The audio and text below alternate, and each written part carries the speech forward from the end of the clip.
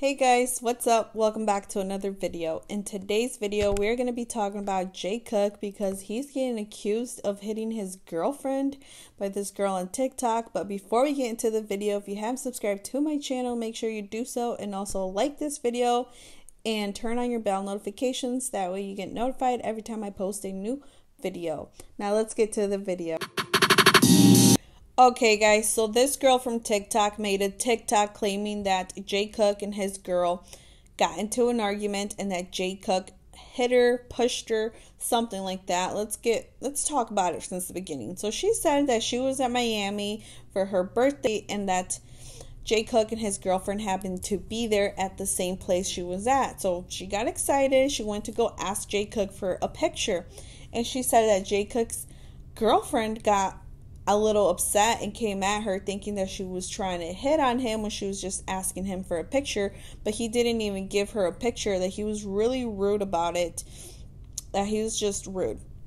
So she didn't even get the picture, and also in the video that she is showing us, you can see J Cook's girlfriend talking to some security guards and then she's walking back to the hotel looks like it with a friend but she looks like she can barely walk like she is about to fall like she can't even with her life but anyways and then after that you can see J Cook by himself on the phone like Hey guys, so I was in Miami this weekend for my birthday. I was invited to a pool party. As you can see, J Cook is at the pool party with his girlfriend. I went up to him to get a picture. He was super rude in person. He just stared at me, never got the picture. Um, and then these videos right here are basically when we were about to leave the party, he hit his girlfriend. They were both super drunk. Um, in this video, you can see her talking to the security guards after he hit her. They are not together. Right here, she can barely walk because she's super drunk. She also yelled at me when I was trying to get a picture with J Cook because she thought I was trying to get at him. So that's another thing that happened. Um, basically, she was trying to go back into the party. Um, and then J Cook was by himself, as you guys can see right here after he got kicked out. They were not together. Um, soon after this, he did push her when she tried to go up to him.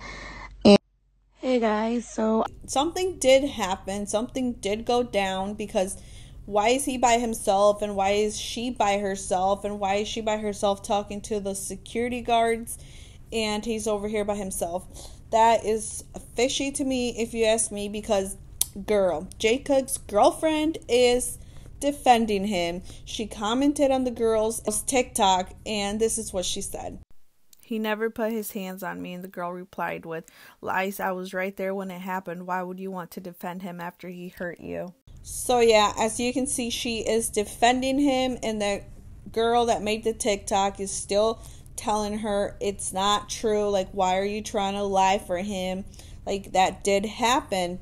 And J Cook and his girlfriend are both posting on their Instagrams of them being together. They don't look like they're mad at each other. They're out grocery shopping. So, yeah. Been passing this one at Marshall's. Right. With my shorty. Bye. Reverse. Reverse.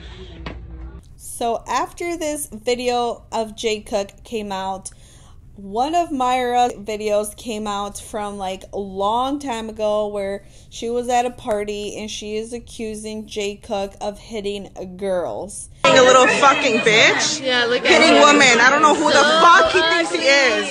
Hitting fucking women. I don't know who the So what do you think? Um that's not the first girl that's saying that. I guess it's ex-girlfriend Vowel or V's girl, I don't know her name, but um his ex girlfriend before this one is also accusing him of the same thing. So it's like a pattern right there, you know?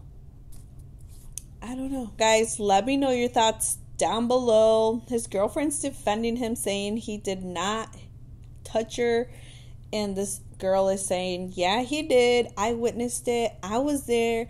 What do you guys think? Comment down below.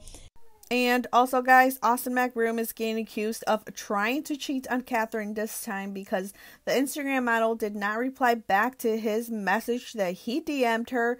And well, he got exposed yesterday on the Bradley Martyn Raw Talk Show where they exposed him and and Jason Derulo for trying to slit in her DMs and her ignoring them. Here's the video for you guys. Oh, she has gotten DM'd by everyone you could think of, and she doesn't even open athlete- it. Tons, all blue checks, and she does like literally. I'm looking, and they're not even open. they're not even open. Yeah, it's tough. Yeah, that's not good for me. No, it's But tough. a lot of That's them, really earning. a lot of them unsend because they get embarrassed. Yeah, there's Yes, actually. yes, Yeah, yo, can we just expose them? I can't. Can you expose like at least a I've couple? had some like, Like, who's a big. big- Austin competitor. McBroom. Stop!